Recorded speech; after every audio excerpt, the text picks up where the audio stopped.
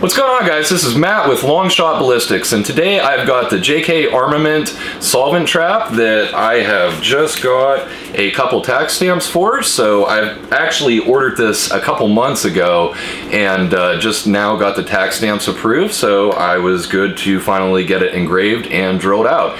Uh, if you're not familiar with a Form 1 solvent trap, you're basically turning a solvent trap into a silencer slash suppressor. Technically on the form it's listed listed as a silencer, but most people call it a suppressor.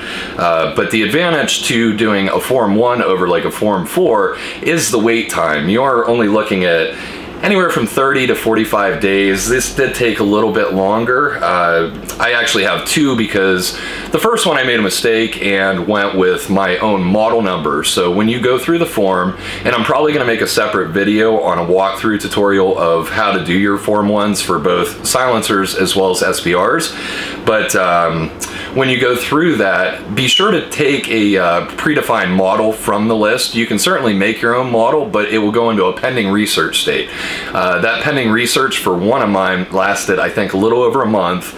And um, ultimately, like a week later, I realized my mistake and went ahead and resubmitted another one uh, with a predefined model, which went into the uh, database. I mailed out my fingerprints right away, and uh, they were approved within a day of each other. So uh, again, this is the solvent trap. You can see it uh, drilled out finally. I've got the Liberty booster on the end. This is actually going to mate to my FN 509C uh, compact.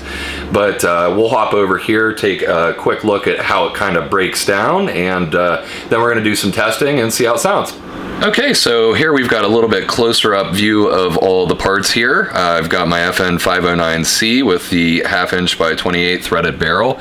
Again, this is the uh, Liberty booster. This is basically used to cycle uh, the feed for the pistol itself. Uh, you can't direct thread those, uh, not like a rifle.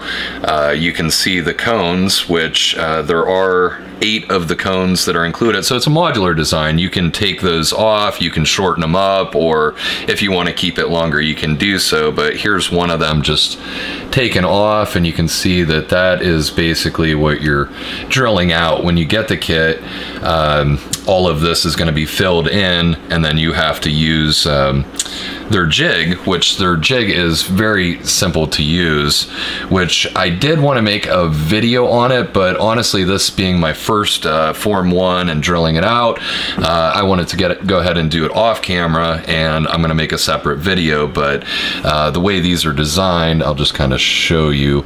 Um, this actually just screws into the jig and then you have the other side, you make sure it's facing up with the JK armament. Let's see if that'll focus in. Yeah, there we go. Um, so that'll screw in here. and then you have that basically set up. Your drill bit goes through and you drill your holes. So for the end cap, I actually have three separate caps here that came with the uh, special order kit that I did. Uh, they're doing a limited run in FDE, so really had to go with that kit for the FN. I think it matches really well. But uh, let's go ahead and take this back apart. All right. And I'll go ahead and get this assembled. It's a little bit uh, oily still, so I want to wipe my hands off. I will say one of the nice things with the uh, JK Armament kits is uh, they actually, if you have a 3D printer, they do have the step files that you can actually download this wrench. They, they sell it separate, but this is just used uh, to tighten these down when you're going through it. You can just slide that over, it catches. Uh, but it's real nice that they include that as an option rather than buying it. You can just print it and take advantage of it that way. Um, then this is a piece for that. That's uh, basically your blast chamber. And uh, that's basically the kit. But yeah, we'll go ahead and put it on the uh, gun here and take some shots downrange, see how it sounds with and without the suppressor. Okay, so here is just an up close look at everything. Like I said, I think it turned out really good. The colors match, uh, everything looks nice and professional for really a do-it-yourself kit here. But uh, let's go ahead and uh, take this down range and see how it sounds with and without the suppressor. We've made it to the range and we're going to try the JK solvent uh, trap that we've uh, formed one into a suppressor. Uh, to start, we're going to just use some regular 115 grain ammo just to shoot it, see how it sounds, and then we'll compare it with uh, 115 grain and then 147 grain uh, subsonic ammo. So let's see how it sounds.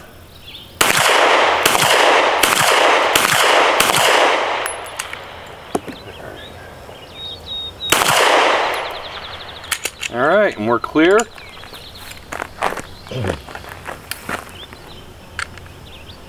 Go ahead and put the suppressor on.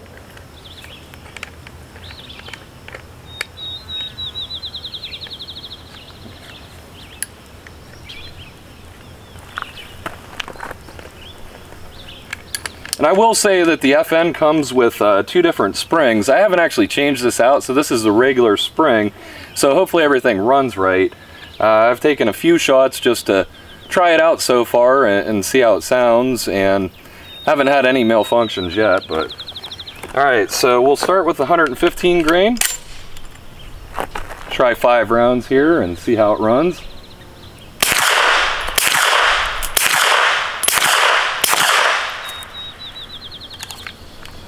All right, we'll clear that.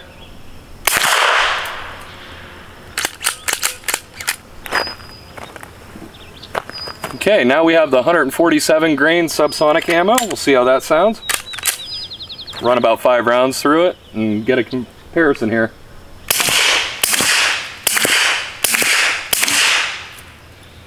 Definitely quite a bit quieter with the subsonic rounds, but uh, so far I'm really impressed with it. Uh, it's just drilled out, it's not clipped yet. Uh, you can actually clip the cones for anywhere from about 5 to 10 dB of additional um, sound loss there. So play with it, uh, maybe clip it, try it again. I don't have a dB meter. That's something I'll probably pick up here, but um, yeah, we'll get one of those, uh, really get a true comparison of the difference and uh, go from there. But anyway, if you like the video, uh, please like, subscribe, and we'll see you soon.